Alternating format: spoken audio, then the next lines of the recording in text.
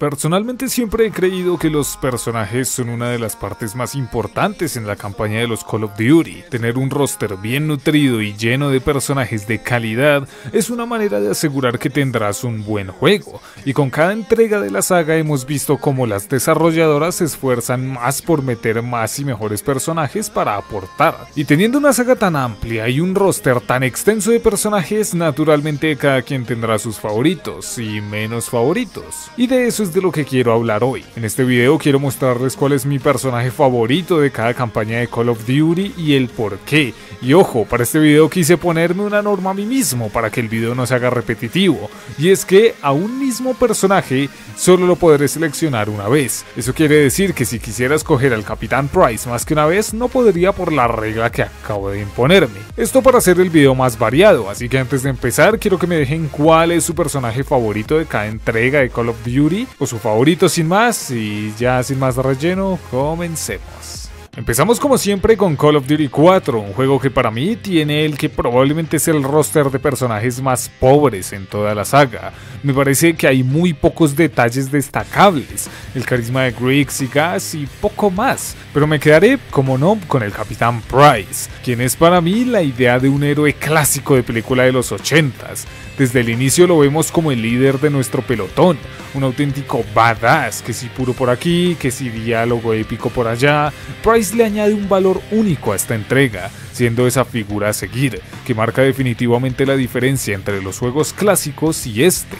Y el mejor ejemplo son los Marines, ya que si bien tenemos un líder claro que es Vázquez, este no hace nada destacable, mientras que Price es todo lo contrario. Toda la campaña gira en torno a él. Es más, todos camuflados, además de ser la mejor misión en la historia, sirve para darle un rápido desarrollo a Price, demostrándonos en nuestras propias carnes cómo es que ese gran hombre se consagró y se convirtió en un héroe de leyenda. Es un desarrollo conciso y perfecto, que termina en pasarle el testigo a la siguiente generación, conectando perfectamente con mi personaje favorito de Warfare 2, sin duda un gran personaje de los más grandes de toda la saga y que tiene un merecido lugar aquí. En World War II tenemos un caso similar al anterior, no tenemos muchos personajes destacables, pero el que está es sencillamente brillante. El sargento Roebuck fue un soldado sin muchas apariciones en la campaña, pero las que tuvo sirven de sobra para que se lleve este lugar. Tiene en primera instancia una función muy similar a la del propio Price, es el líder badass con un par de momentazos históricos, pero si lo vemos detenidamente es un poco más complejo que eso. Vemos que su ascenso a líder de pelotón no es gradual, en realidad es repentino, sucede por la muerte de su sargento, muerte que vemos cómo lo afecta. Lo vemos como se esfuerza por estar a la altura de las circunstancias, por más que le cueste. El poder escucharlo en los diálogos antes de las misiones y entender sus pensamientos sobre la guerra es brutal.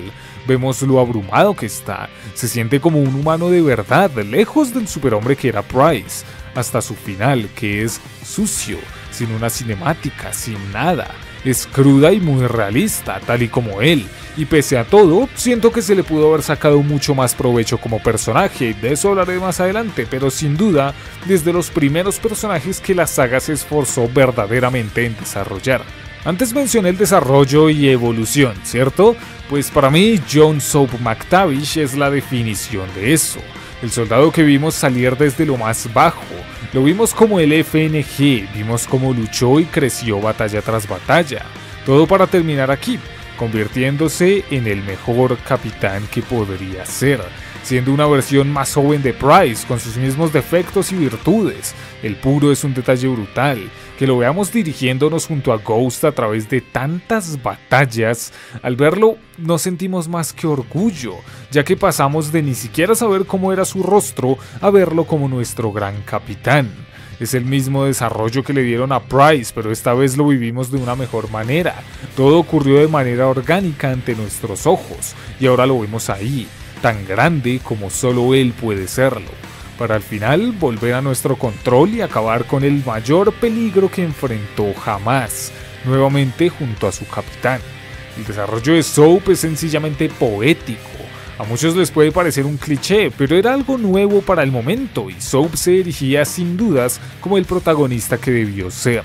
Lástima que terminó siendo desaprovechado, pero eso no quita que fue de lejos lo mejor de esta entrega junto con el general Shepard, otro personaje que sin problemas pudo ocupar este lugar. No creo que diga ninguna locura si digo que Viktor Reznov es de los mejores personajes en la historia de Call of Duty, por no decir que el mejor.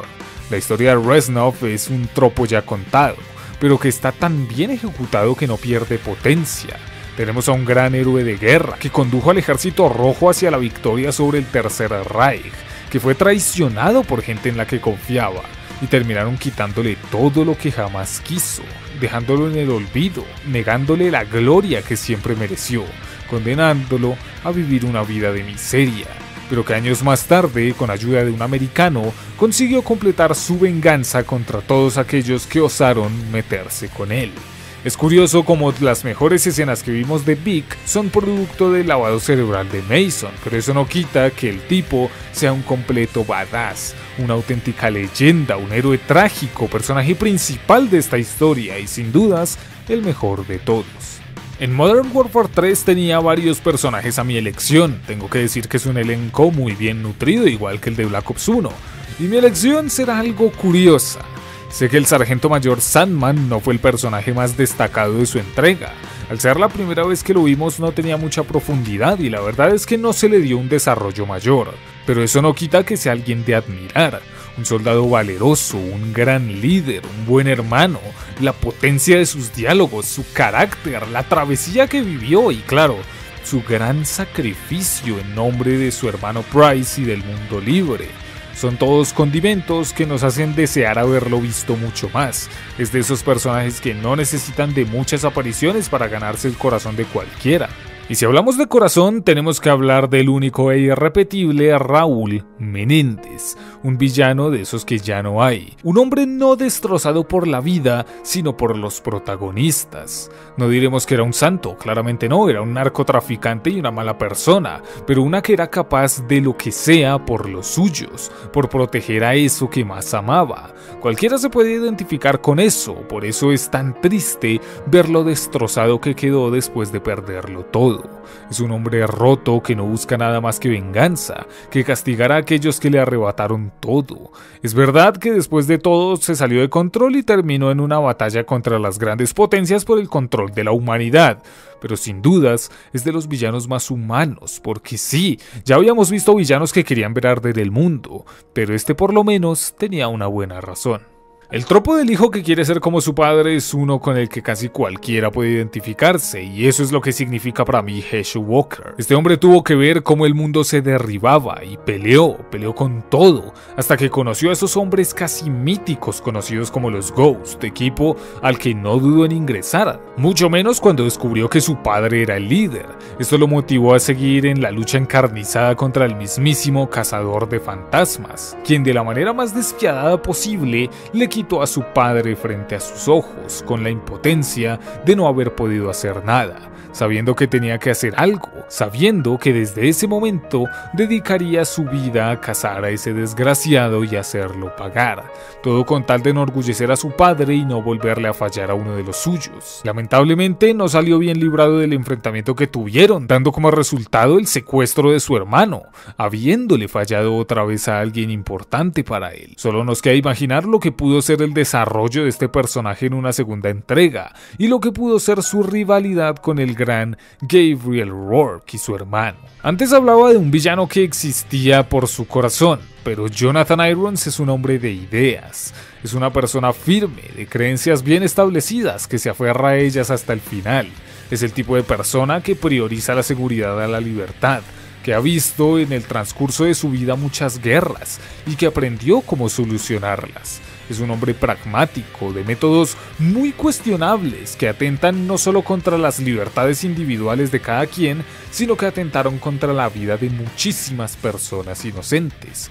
No es una buena persona, para nada, pero sin duda es alguien que busca el bien, no importa el coste, es alguien que murió por ser un humano, débil ante ciertas cosas como el no querer matar al mejor amigo de su hijo o a uno de sus mejores soldados Irons es un villano de matices, tantos que a día de hoy podemos seguir preguntándonos si debía terminar así o no, siendo que alguien que entendía también el funcionamiento del mundo podía ser útil para arreglarlo. Era un idealista de verdad que quería un mañana mejor y no le importaba el costo, quizás ese fue su mayor pecado. El jugador, en palabras del propio juego, es absolutamente nadie, no tiene identidad, no es nada para nadie, pero en sus cortos momentos durante el juego aprendió mucho.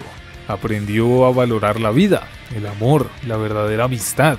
Es un personaje curioso que no está nada beneficiado por la narrativa de su juego, pero que de ser llevado de otra manera podía haber sido un gran personaje que trascendiera Call of Duty como juegos meramente bélicos y se diera un lugar entre los grandes personajes de la historia. Y hablando de grandes personajes, sé que todos amamos a Ethan, pero Nick Reyes tiene que llevarse el reconocimiento como el mejor personaje de su juego. Nick es igual que Rollback, pero estos conceptos se llevaron más allá.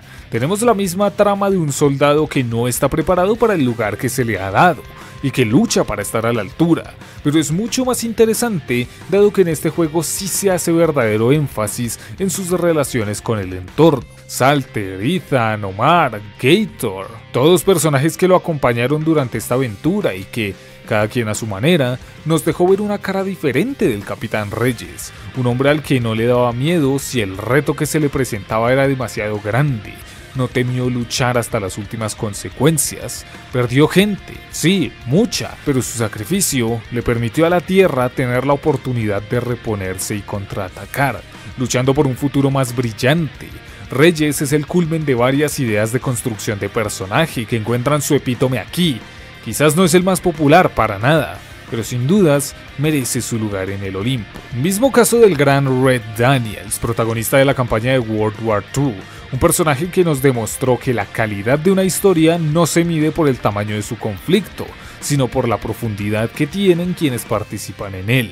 Daniels empezó como todos, un hombre dejando su hogar para ir a la guerra, pero a medida que avanzamos en la historia pudimos conocerlo a fondo, supimos las razones que tenía para estar allí, conocimos todo lo que dejó atrás. Y más importante, pudimos ver cómo se relacionó con los demás, cómo hizo una auténtica hermandad, como se ganó el respeto hasta del sargento más cabrón que encontró.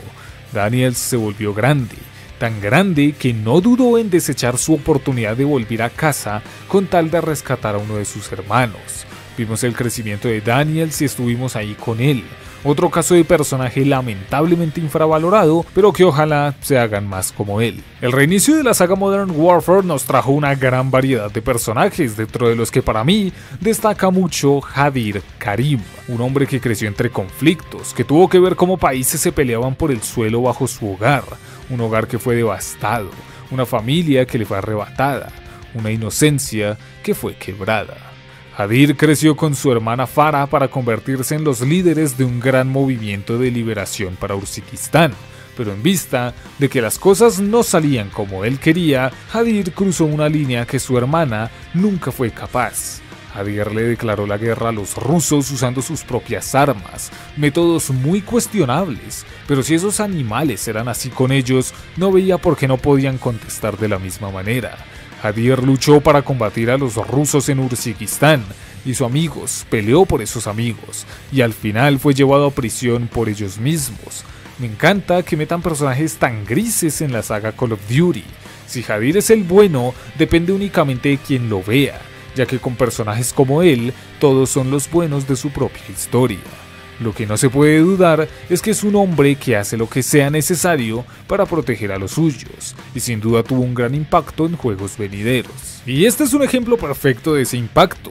Russell Adler tiene que ser de los personajes más disruptivos en la historia de Call of Duty, ¿Saben de esos casos en los que ves al malo de la película hacer de las suyas y aún así quieres que gane? Pues Adler es un ejemplo perfecto de ello a grandes rasgos. Adler es el típico tipo duro, ese hombre al que no le importan los medios, sabe que tiene un objetivo que cumplir y nada se lo va a impedir, no importa lo que cueste. Y esta es una premisa que hemos visto antes, sí, pero que aquí se le da un giro gracias a su relación con Bell. El plot twist de que seamos un agente ruso, miembro de Perseus, cambia nuestra perspectiva totalmente, ya que podemos ver los actos de Adler de manera más sosegada, y podemos elegir si estamos con él o no. Para esto los finales son grandiosos y muestran lo que Adler puede ser, ya que en los finales en los que le damos la espalda se vuelve nada más que un estorbo que tiene que ser acabado, mientras que en el supuesto final bueno, después de confiar en él y de todo lo que hicimos para salvar la vida de millones de personas en Europa, el cabrón decide que no somos confiables y nos elimina a sangre fría. La verdad no estoy con las teorías que dicen que Adler acabó con Bell porque sabía demasiado. Soy más propenso a pensar que lo hicieron así para que diera la impresión de ser ese cabrón, que parece un héroe pero viéndolo con detenimiento puede cometer actos horribles. Russell es un personaje completo, es muy gris, que para rematar tiene el carisma, la actitud y la presencia que distinguen a un personajazo y que en un juego donde también están Mason y Woods logró llevarse todos los reflectores. Vanguard, querrámoslo o no, tuvo un par de cosas destacables. Una de ellas, sin duda, es Polina Petrova, una versión femenina de Víctor Reznov en esencia, pero por momentos hasta más profunda. Es verdad que ella no vivió las traiciones que Vic sí, y no tiene esta historia de venganza, pero vemos más allá. Vemos cómo partía de ser apenas una recluta que disfrutaba de una vida normal en Stalingrado a quedarse sin nada, a tener que ver cómo esos cerdos alemanes invadían su país y devastaban sus tierras, acabando con toda la gente que alguna vez quiso y conoció. Su padre, su hermano, se lo arrebataron todo por lo que no le quedaba más que luchar contra esos monstruos para intentar que a nadie le pasara nada similar. Ya les digo que es un personaje simple pero con un buen desarrollo y un trasfondo bien construido. Fuera de esta lista no podíamos dejar al personaje más cabrón que vamos a ver en esta lista, Alejandro Vargas. Es una elección difícil tomando en cuenta que en el mismo juego tuvimos personajes estelares como Ghost, pero tenía que reconocer al buen Alejandro, un personaje al extremo simple, pero que con muy poco se gana a cualquiera.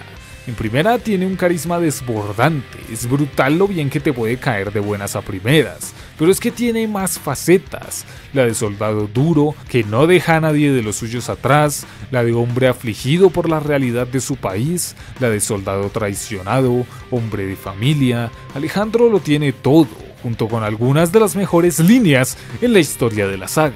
¡Vete al carajo, hija de puta, que te voy a matar! Como dije, es un tipo simple en esencia, pero está tan bien hecho que con lo poco que tuvimos de él, nos ganó sin problemas y merece estar aquí. Y para terminar, la elección fue muy dura, ya que todos los personajes que aparecieron en esta campaña no fueron más que caricaturas de sí mismos, menos uno.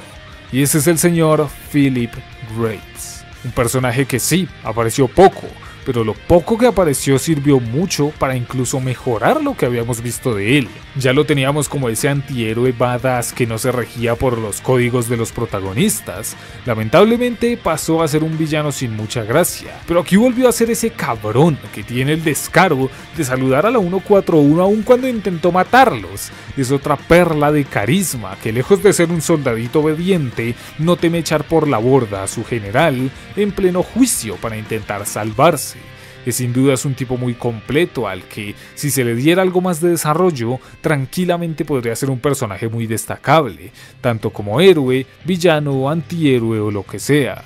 Tal y como lo tienen ahora es un desperdicio de potencial, pero si se proponen hacerlo destacar, puede ser un personaje muy grande. Y bueno amigos, esa fue toda mi lista. La verdad fue un video muy divertido de hacer. Me gusta mucho hablar sobre personajes de la saga, de intenciones narrativas, cabrones badass, me encanta eso. Pero ahora quiero ver cuáles son sus personajes favoritos de la saga. Estoy seguro que los tienen claros, pero por favor, antes de comentar algo como que por qué no elegí al Capitán Price en Warfare 3 o algo del estilo, recuerden las reglas que yo mismo impuse al comenzar el video. De resto, cualquier opinión será valorada y recuerden que si les gustó el video, solo tienen que hacérmelo saber con cualquier like, comentario, suscripción y compartida. Saben que siempre ayuda mucho a que el canal siga creciendo y a que yo siga trayendo más videos del estilo. De verdad espero que hayan disfrutado el video tanto como yo disfruté hacerlo. Quiero ver sus opiniones saben que me encanta leerlos y siempre respondo. Y sin mucho más que decir, muchas gracias por verme, recuerden que yo soy J Naranjito y como siempre, nos vemos la próxima. Adiós.